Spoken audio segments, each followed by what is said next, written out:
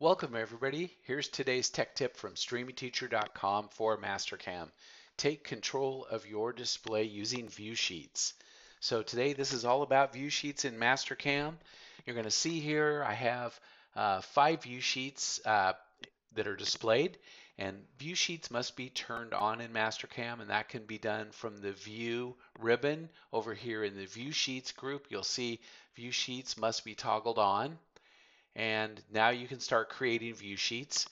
I'm going to show you an example here. First view sheet I have uh, is called part and work holding and this is going to display the uh, workpiece and uh, fixture. And so then I have a glass display of the part, I have a shaded display of the part, I have shading turned off with a hidden line removal, and I have a section display. So I'm going to quickly show you how to create these various uh, settings. So what we're going to do, we're going to start off with just deleting the ones that I have. Right click, delete. We're going to get this down to the first view sheet. I'll delete these. So what I want to do first of all is I want to center in my viewport here uh, with a focus on just the part. So I'm going to click the part. I'm going to come up here to view. I'm going to come over here to where it says fit and I'm going to use selected and that'll center the selected part up to the viewport centering the workpiece. So I'll unselect that. That's exactly what I want in my levels. I have just the solid model of the workpiece plus my fixture turned on. The display of those two items are turned on. I'm going to right click and I'm going to save that view sheet bookmark. Now, the settings for view sheets. If you right click and you go to settings, there are new settings that have been added to the later versions of Mastercam. And you want to go ahead for this example and just turn all of those on. So we're going to hit enable all and then we're going to save those settings. Now I already have mine saved, so I'm just going to cancel here. But you want those turned on for it to work this way.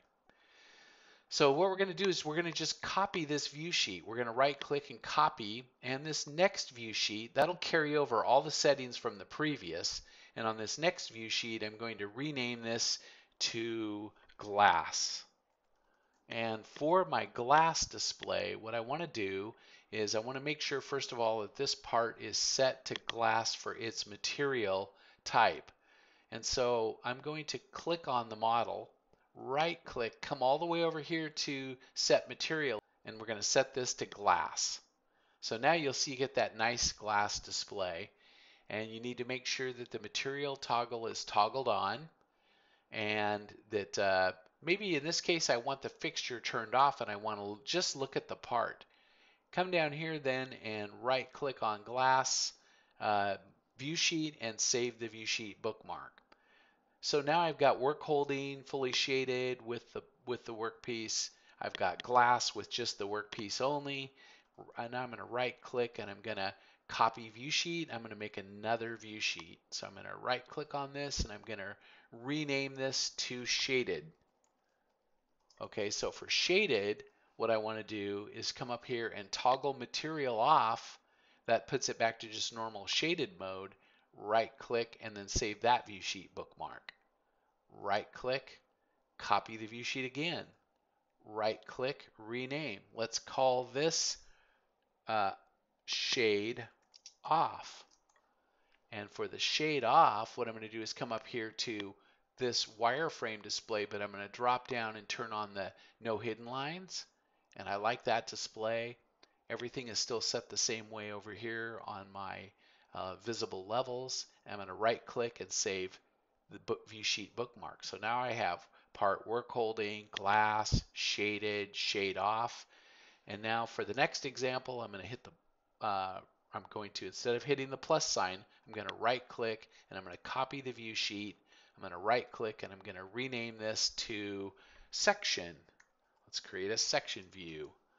So for the section view, I've got the, the uh, view sheet tab created. I'm going to come up here and turn the shading on because for section views, shading has to be turned on.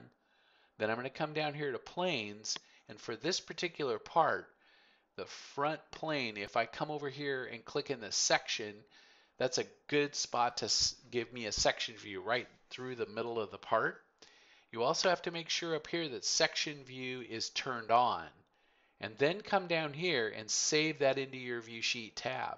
So now I have part work holding, glass, shaded, shade off, section, and on and on we go. We can create many different variations of ways to look at the part. That's one quick example. Hope you enjoyed today's tech tip. If you like this, please like and subscribe to Streamingteacher and uh, watch for uh, future videos, and we will see you soon.